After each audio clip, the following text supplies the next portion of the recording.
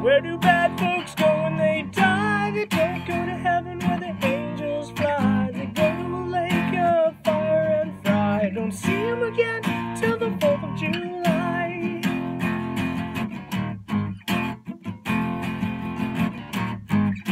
Well, I knew a lady who came from Duluth, got bit by a dog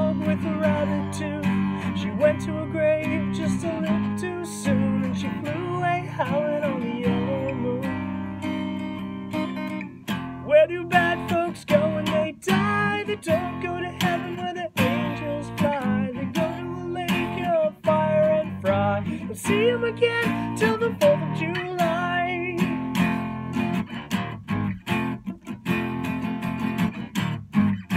Well, people cry and people moan and look for a dry place to call their home and try to find some place to rest their